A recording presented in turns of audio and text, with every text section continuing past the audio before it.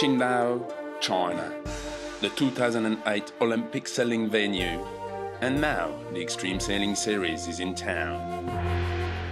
We hosted Olympic Games, Volvo Ocean Race and Clipper. Extreme Sailing Series will be the next greatest event we will have in Qingdao. We're happy for that. With colorful sails, fast boats, top sailors, it will definitely make a positive impact on sailing city Qingdao.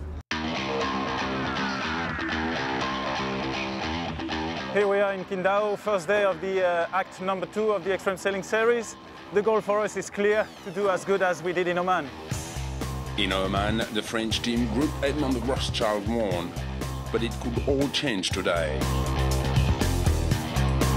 The racing was really tight, all teams fighting hard for the top, but each struggling to remain consistent.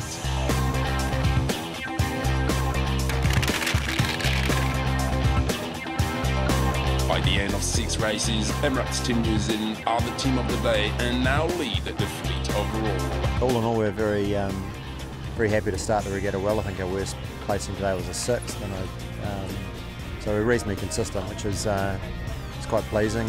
Artemis Racing has a new skipper for this event. And Santi Lange won a bronze medal here during the Olympic Games and steered the team to second place today.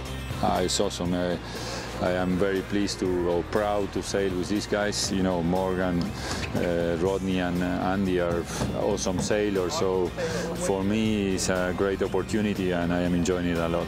Struggling here, Groupe Edmond Rothschild couldn't make the break and lie seventh overall.